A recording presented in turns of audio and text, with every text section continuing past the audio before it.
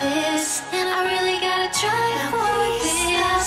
Stop and try to understand. I really gotta try for this, try for this.